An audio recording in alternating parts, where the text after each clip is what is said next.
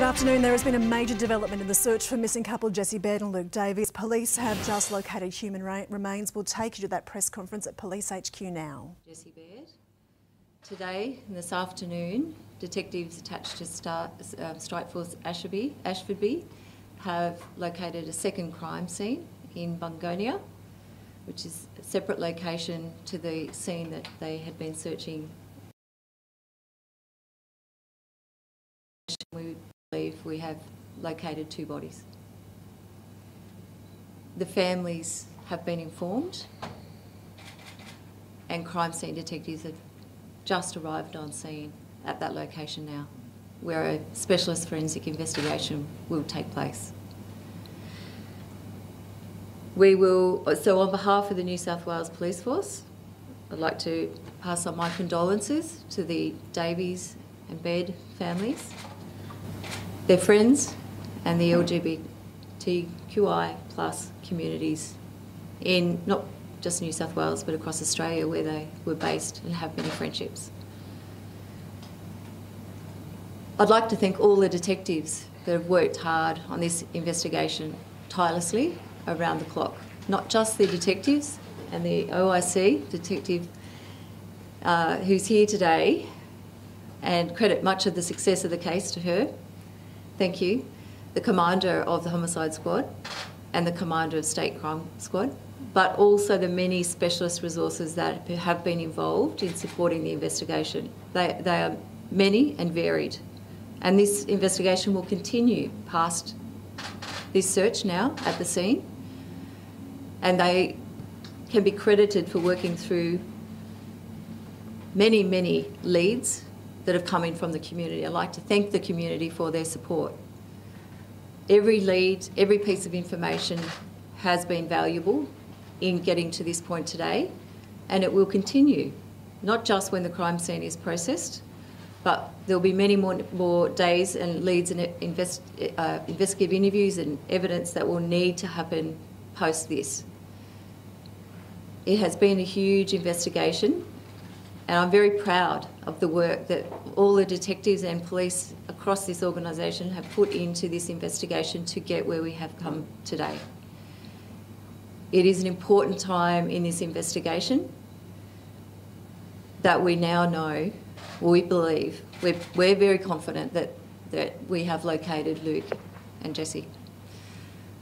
Um, I'll hand over to Detective Superintendent Danny Doherty to talk through some of the details um, and introduce you to the officer in charge of this investigation.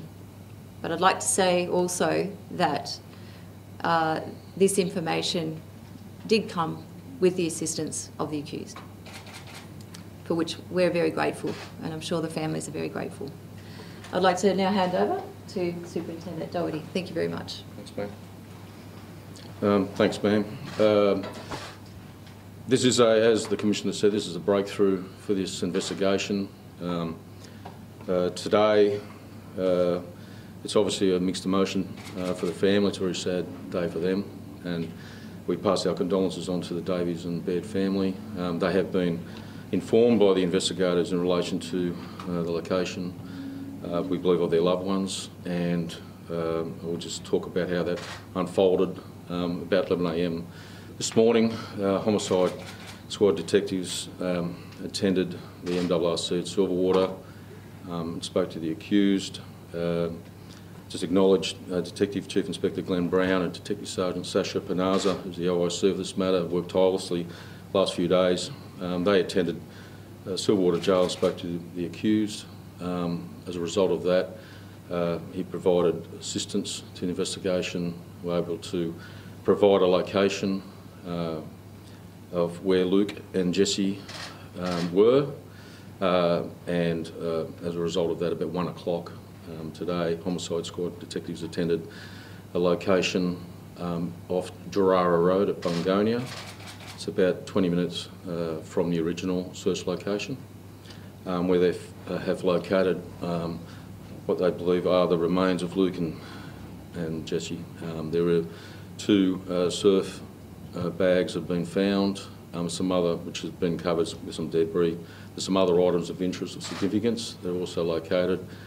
Um, and Uh, At that stage, it was declared a crime scene, and immediately the the family were informed um, of the development uh, in this case, and uh, obviously, as the Commissioner said, a crime scene examination will be ongoing for some time.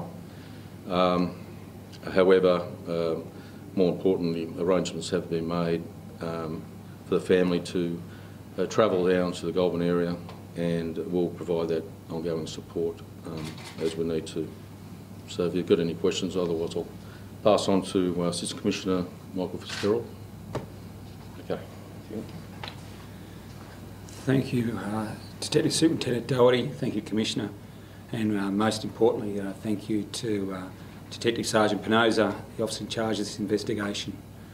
Um, whilst this news may bring some solace to the Baird and Davies families, I know this will be incredibly heartbreaking for them. And as the Commissioner has said, our sympathies are with them. Um, today, I just want to thank the Homicide Squad. This investigation and the pressure that these officers are under due to what I regard as probably unprecedented public interest in this matter. Uh, their work has been nothing short than of outstanding and I just want to actually uh, pass on to the investigators and Detective Superintendent Doherty my genuine thanks. Um, we sadly, as I say, uh, as a society have these type of incidents, domestic violence that occur in our, our world and we have to deal with them and, and, and it has hurt us because uh, it was one of our own officers who was involved in this. So on behalf of myself and the Commissioner, I want to thank uh, these homicide detectives. I only last week acknowledged the amazing work they did uh, of the seven organised crime murders that, that, we had in 2023.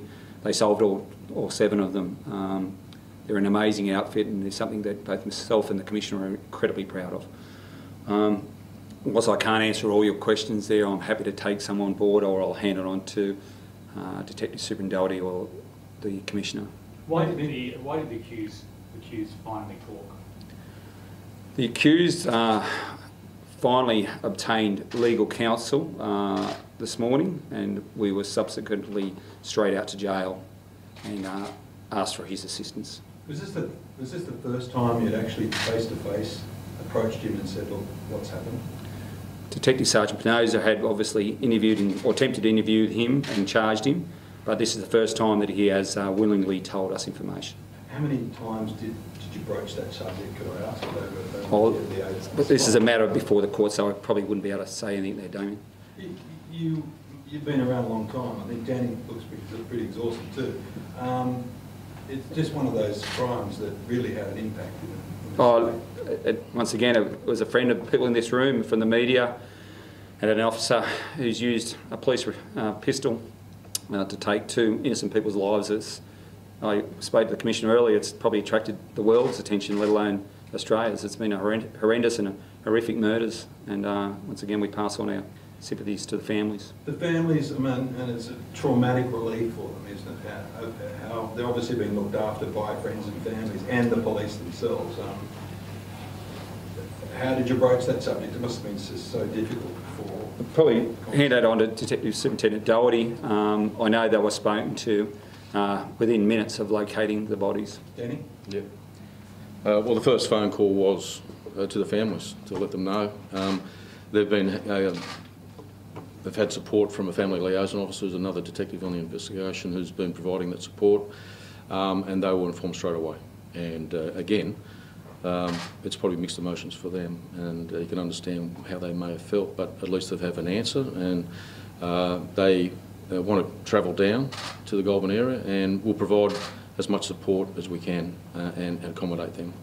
A number of Jesse's friends have said that Beau was not his ex nor his partner. Can you describe, since you've learned new information, what that relationship was? Uh, my understanding that at some stage of in a relationship, um, again, there's been a lot of information as uh, the Commissioner said, there's been a mountain of information.